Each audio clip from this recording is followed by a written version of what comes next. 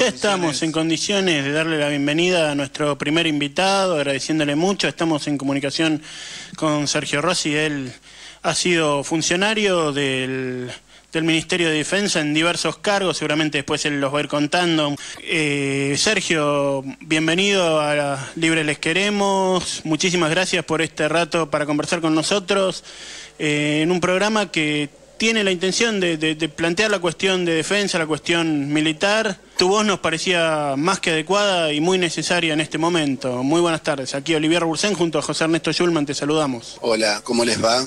Bien, bienvenido.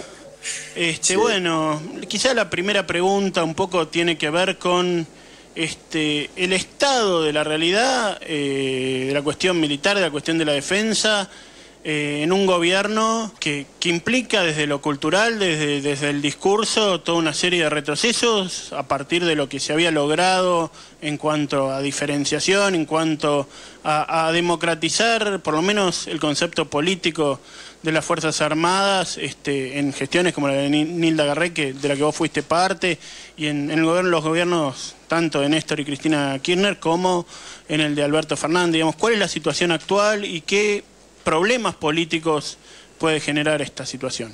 Yo no soy más funcionario y la verdad es que no estoy muy en contacto, solo sigo charlando y leyendo los diarios, quizá habiendo estado ahí. No creo que pasen cosas distintas de las que pasan en el resto del país. ¿no? creo eso. A los militares, a pesar de que hubo políticas que beneficiaban objetivamente la actividad, votaron a, mi ley. lo mismo pasó en el CONICET, en, la, en el Banco Nación, en aerolíneas seguramente, digo, me parece que ahí hay otro problema que es general. No, creo que haya un voto militar. Si hubiera urnas como hay en la Antártida, en algunos otros lugares, veríamos cosas parecidas. Me parece que lo que hay que mirar es eso. ¿Qué veo yo de la...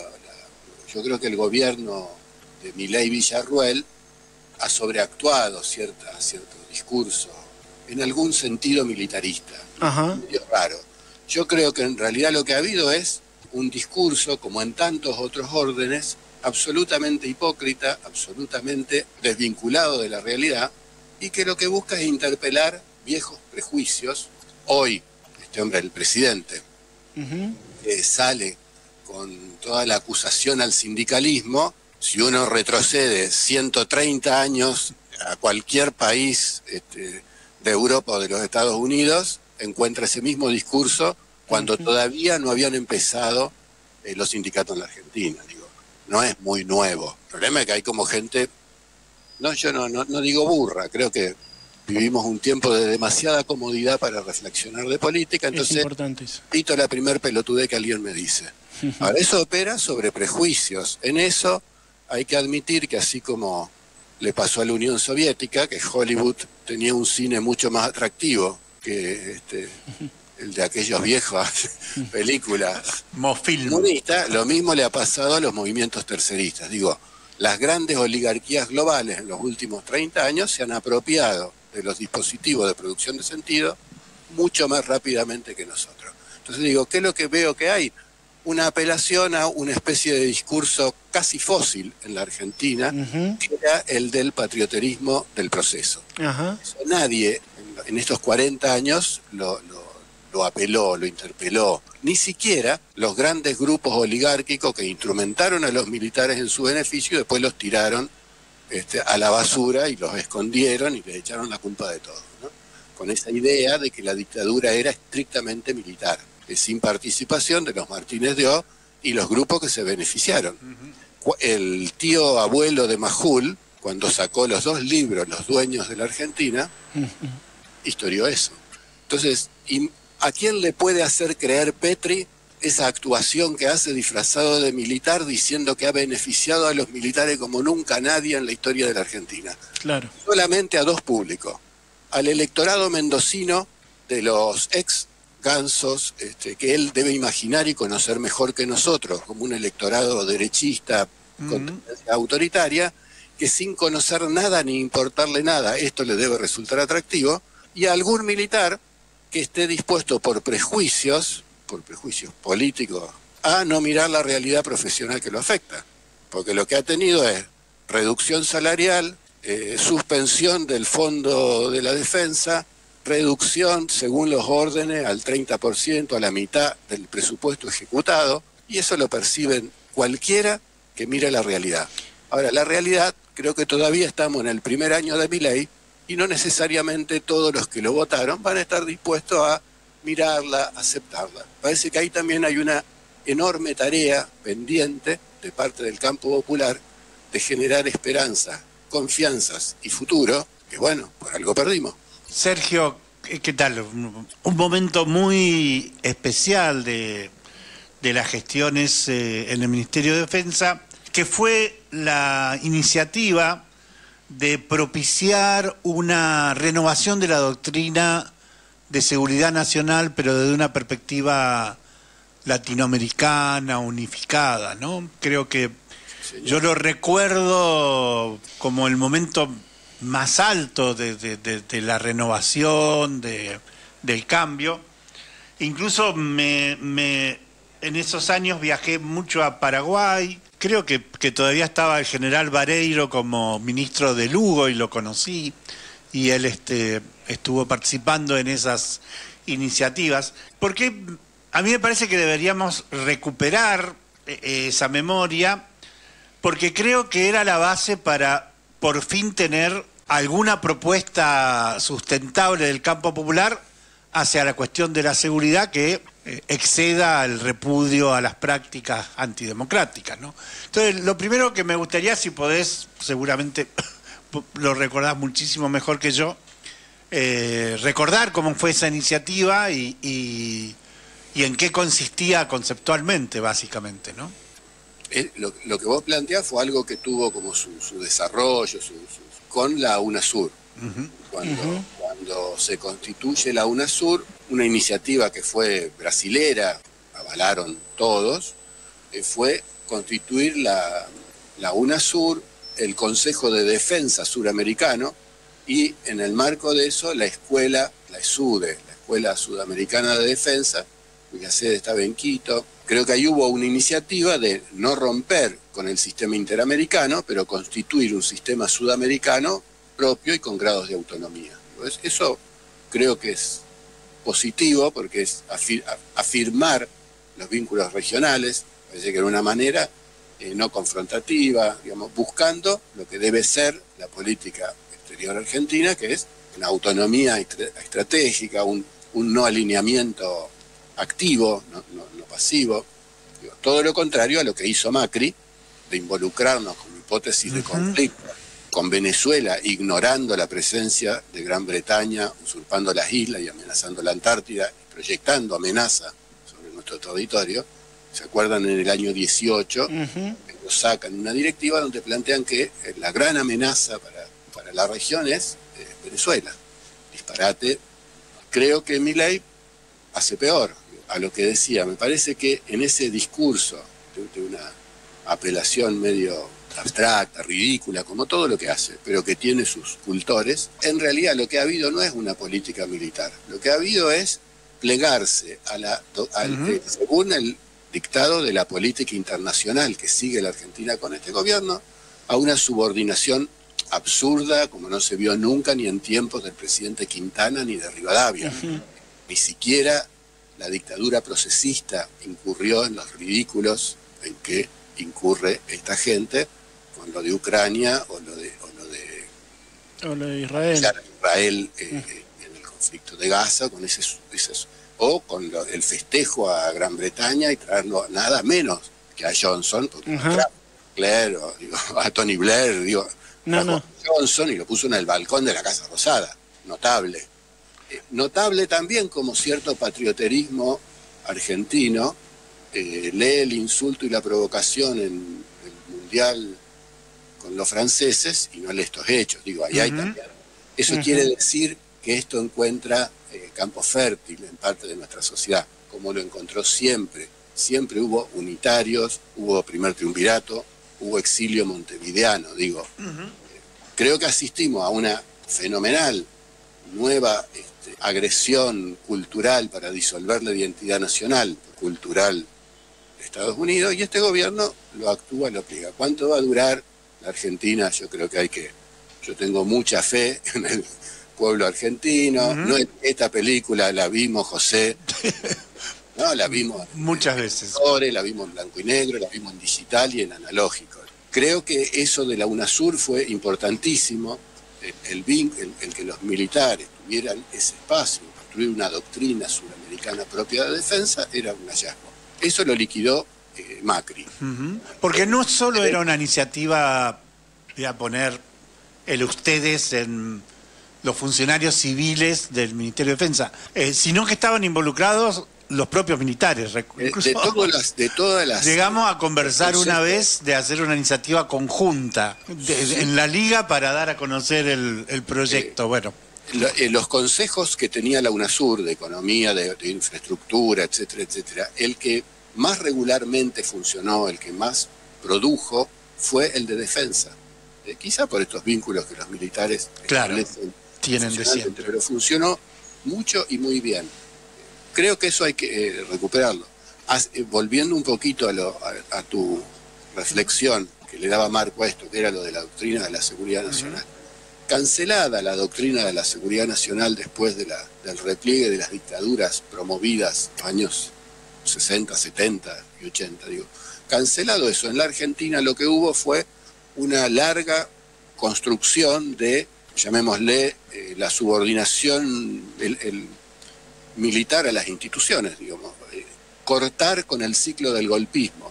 El ciclo del golpismo en la Argentina, creo yo, no arranca con la doctrina de la seguridad nacional, arranca mucho tiempo antes. Se vuelve siniestro con esa en, los años 50, pero ya existía. Digo. Entonces no era solo cancelar la doctrina de la seguridad nacional, era que los militares acepten el marco institucional. Creo que eso se logró no sin costos. La Argentina pagó un alto costo por eso, que fue porque ahí hubo eh, Alfonsín y Menem recortan el presupuesto. La afectación presupuestaria al principio no se nota tanto porque los equipos están nuevos, Ajá pero después de 10, 20, 30 años de no adquirir y no mantener, pasa lo que te pasa en tu casa con cualquier artefacto, con las instalaciones. A la vez hubo problemas salariales. Bueno, yo creo que eso, Nilda Garré, o en esa gestión de Nilda Garré, se eh, estructuró el Ministerio de Defensa y se puso en marcha un montón de cosas que no las inventó Nilda Garré.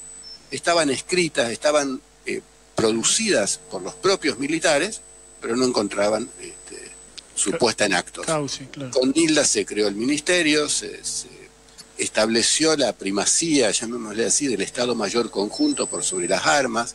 Eso recogía una enseñanza, una reflexión crítica del informe de Rattenbach, posterior a Malvinas, que era que nos habíamos preparado para otras guerras, libramos tres a la vez descoordinadas en Malvinas. La doctrina conjunta, la, la concepción conjunta, la doctrina, eso se implementa estaba escrito, pero se implementa en la época de Milda. Eh, se reforman los planes de educación, ya, se, ya venían varias reformas de la época de Alfonsín y de Menem, la época de Balsa, digo, había habido muchísimos cambios donde un poco era, ustedes no den golpe, no joroben, fórmense profesionalmente, arréglense con lo que hay. Un poco eso fue lo que se buscó cuando el gobierno de Alberto Fernández eh, revertir. Ahí hubo tres o cuatro medidas que las quiero enumerar rápidamente, porque yo creo que fueron muy relevantes y fue salir de ese planeamiento sin recursos y dotar de recursos y de habilidad al, planeamiento. Digo, todo lo otro estaba impecable, pero hacía falta ponerle plata. Eh, una era la cuestión salarial. se acordarán, no son tan jóvenes, que durante los años 90 no hubo, hubo control de la inflación, pero no hubo aumento de sueldo. Y los aumentos de sueldo fueron con suplementos no remunerativos que no iban al básico ni al sistema de obras sociales, que además estaban privatizando jubilaciones y obras sociales. Eso entre, el, primer, entre el gobierno de Dualde y el primer gobierno de Kirchner se revirtió. Dejó de haber el suplemento no remunerativo, los aumentos iban al básico. Eso no fue así para los militares. Entonces los militares hasta el año 2020 eh, se pasaban al retiro con un haber muy inferior al, eh, al, haber. Eso además desfinanció el sistema de salud y el sistema de, retiros. Esa fue una de las cosas que se corrigieron, fue el primero de octubre del año 2020, que se pasaron esos suplementos no remunerativos al base. Hoy hay un gravísimo problema en la obra social, producto, lo, denuncian los propios autoridades militares, producto del desmanejo de Milei, que seguramente tiene que ver, como fue Aguada en la época de Macri, con el afán de privatizar la obra social de los militares, que es la tercera del país, para dársela a los grupos que justamente están beneficiando como negocios privados. La otra cuestión fue eh, el Fondo de la Defensa, que fue un proyecto de ley que impulsó Agustín Rossi siendo diputado en el 2019, que también se votó en el Senado en octubre del 2020 y que prevé una, partida para equipamiento militar, en primer lugar agotando la instancia de la adquisición nacional y si no, la adquisición afuera con un programa de transferencia de tecnología. Esa ley se ejecutó 2020, 21, 22, parte en 23, porque se ejecutó toda la parte, el dinero de fuente presupuestaria, pero quedó sin ejecutar el que estaba previsto por financiamiento externo. Mi ley para el presupuesto 2025 ha suspendido ese fondo. Entonces ese discurso de teórica reivindicación de los militares vale para el desfile y para subirse al tanque. Como bien dijo el general Milani y Agustín en unos reportajes, se concretaron en la gestión cuando el jefe del ejército era Milani y Agustín, el ministro de Defensa, en 2014. Proyecto que cortó Macri, que retomamos nosotros, y al tanque ese que se sube a, disfrazarse. Sí. camuflado. Ahora, está claro que mientras hace eso, no ejecuta el fondo en el año 2024 y lo suspende para el 2025. Pero bueno, eso es hasta que la gente vaya conectando hemisferio cerebral izquierdo y hemisferio cerebral derecho. Totalmente. La, otra cuestión que hay que mirarla, digo, fue la de los soldados voluntarios. Lo grafico en el caso del ejército. En la época de Alfonsín, todavía con el servicio militar obligatorio, para el ejército los números entre oficiales, suboficiales y soldados eran, más o menos, 6.000 oficiales, 19.000 suboficiales, 15.000 soldados. Porque ha bajado en el 88 por restricción presupuestaria. Tendría que haber 30.000. Eso duró así hasta el año 2014-15 subió, a, era cuando Milán y Agustín, subió a 18.000, bajó a 15.000 con Macri. En el año 2022 los, se lo llevó a 28.000 soldados voluntarios, se duplicó el de la Fuerza Aérea, no tanto en la Armada. A veces pasa desapercibido, eso se hizo, no es que fue una teoría. Entonces me parece que cuando se habla qué hace eh, Milei, lo que hay que contrastar es ese discurso medio bravucón, ridículo, como hace todo, con los ¿Cuántos soldados tenés? La mitad. ¿Cuánto gastaste en equipamiento nacional? Nada. ¿Compraste unos aviones? Sí. No parece una decisión tomada desde el planeamiento militar, sino desde la el negocio para satisfacer el alineamiento automático con la OTAN. Este, ¿Aumentaste el sueldo de los militares? No. Había cinco cuotas, tres se pagaron durante nuestro gobierno, dos estaban presupuestadas, lo canceló. Eh, la obra social que hiciste la querés privatizar o todo pinta que la llevas a ese rumbo. Bueno, entonces esa es la realidad. Construir la realidad en discurso es otra historia.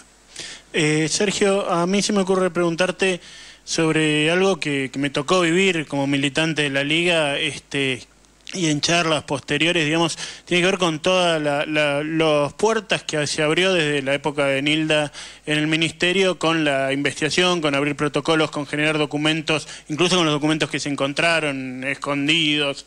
Este, todo eso, eh, Petri se van a gloria de que se acabó y es más, eh, lo que uno lee en las noticias, vos me podrás decir más como especialista, es que hay una, decisión claramente de cerrar las puertas de cualquier tipo de, autoinvestigación que, pueda probar y que pueda permitir a los investigadores externos seguir investigando la cuestión de, las violaciones de los derechos humanos y los mecanismos propios de organización del aparato militar en tiempo de la dictadura. Sí, eh, la verdad creo que me parece que es un proceso que ya está casi terminado hasta biológicamente.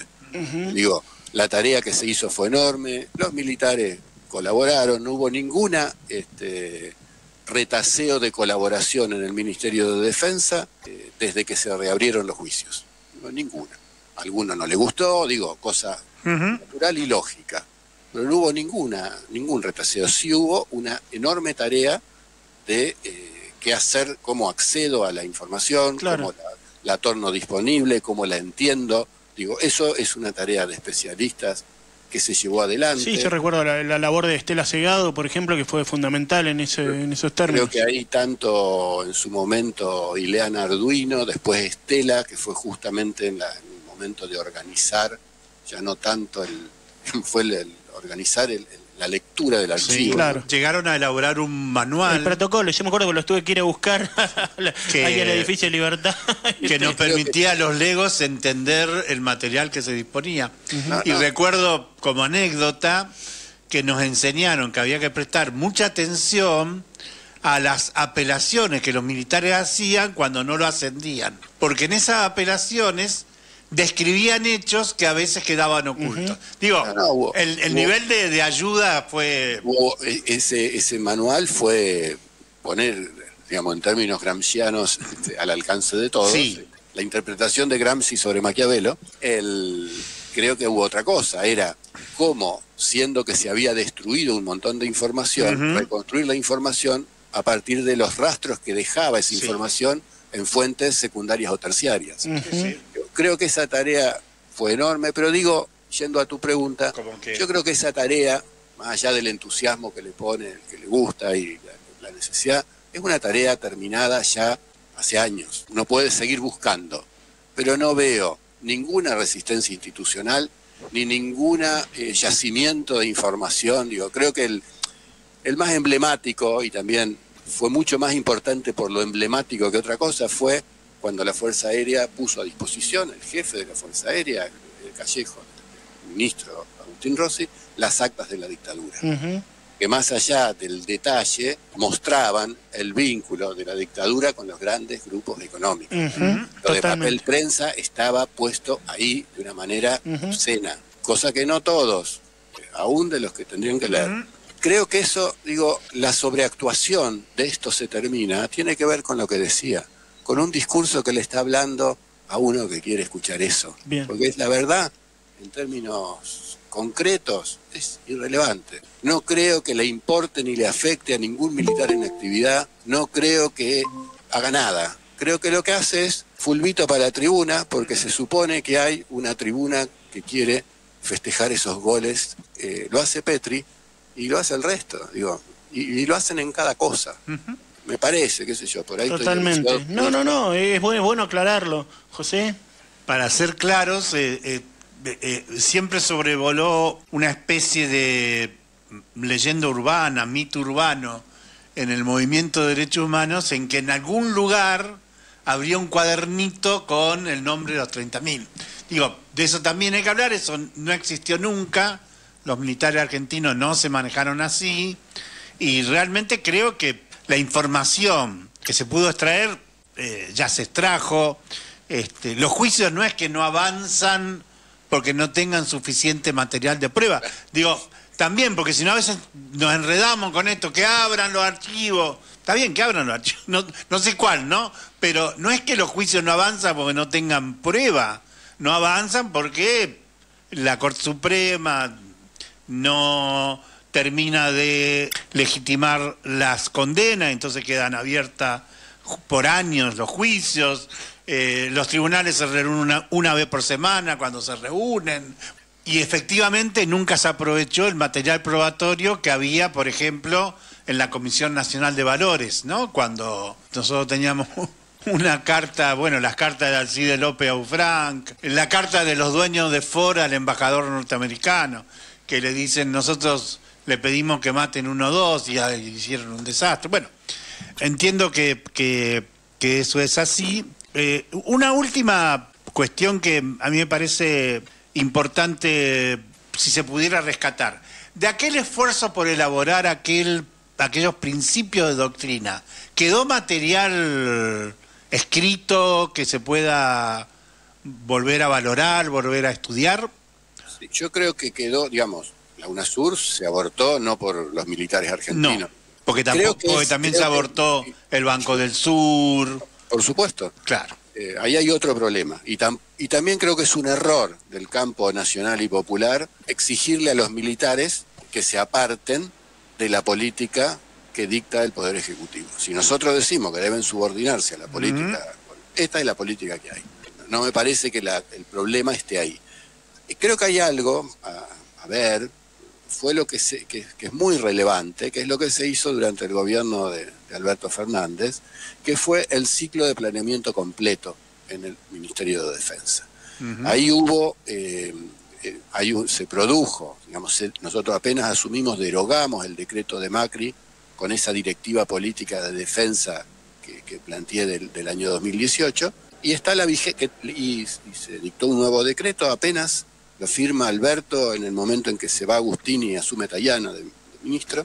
Esa directiva merece leerse, recupera mucho del punto de vista, aunque por supuesto plantea, como planteaba la del 2014 y, la anterior, que las Fuerzas Armadas Argentinas deben promover la participa deben participar y promover en la creación de un sistema suramericano de defensa, regional de defensa, asigna un peso, digamos, habla de la dimensión territorial de la Argentina.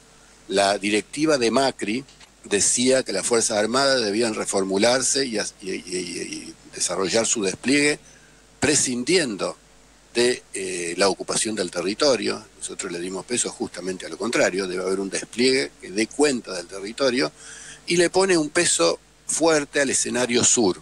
La constitución dice que no recuperaremos las Malvinas por la fuerza, pero no se puede ignorar la presencia hostil de Gran Bretaña ahí. Hubo tras eso un, enorme trabajo del Estado Mayor Conjunto, bueno, lo llevaba adelante el general Paleo, el general Pereda, cuando estaba en, el EMCO, y por primera vez se eh, logró tener un plan de capacidades militares en sintonía con esa directiva, establece qué es lo que deben hacer las, Fuerzas Armadas, cómo deben adiestrarse, para qué, para conjurar qué amenazas, y además con un correlato presupuestario y con un programa, que era el del FONDEF, eh, vinculado. Toda esa tarea se hizo, no todas son documentos públicos, lógicamente, pero creo que ahí hay un, un activo enorme. Parte de eso, para graficarlo, digo dos cosas que grafican. Una fue que se constituyó la guarnición militar conjunta en Tierra del Fuego.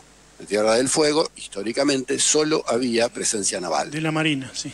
Bueno, se constituyó y se construyó un cuartel, el núcleo principal se, ya se construyó, supongo que seguirán construyéndolo, un cuartel en Tolwyn. No se hizo en Ushuaia, se hizo en Tolwyn para justamente distribuir en el territorio. También se volvió con cuarteles a Catamarca, donde hacía décadas que no había cuarteles. Y la otra fue la base Petrel. Se volvió a convertir la base Petrel en una base permanente en la Antártida, cuyo objetivo es ser el primer escalón logístico para la campaña antártica. Esa fue una decisión relevante que se concibió, se escribió en esa directiva que yo digo y se materializó eh, durante nuestro gobierno. Creo que ese fue un avance relevante que queda con la fuerza de los hechos, que hay que teorizarlo, sacarle jugo, este, explotarlo, difundirlo, y creo que habrá que resistir lo que seguramente va a producir el gobierno, que es una directiva política de defensa contra Pelodesta. Digo. Se tienen que trabajar para eso y no eso no lo pueden hacer en 140 caracteres. Pero supongo que lo van a hacer. a lo mejor algún amigo de, del Comando Sur los ayuda, ¿no? Alguna, alguna amiga general. ¿Estamos, Soli? Perfecto. Sergio Rossi fue eh, estuvo a cargo de la Dirección de Inmuebles e Infraestructura en las gestiones de Nilda Garré y Arturo Puricelli en el Ministerio de Defensa, fue jefe de gabinete cuando el ministro fue Agustín Rossi y secretario de Estrategia y Asuntos Militares, también con Agustín Rossi y Jorge Tayana en el gobierno de Alberto Fernández. Muchísimas gracias por esta participación en Libres Les Queremos, ha sido muy claro y seguramente seguiremos hablando del tema también para, para aclarar un montón de cosas y, enfrentar este discurso patriotero que, que se pretende. Muchísimas gracias y un abrazo. Gracias a ustedes, chicos. Abrazo, Sergio.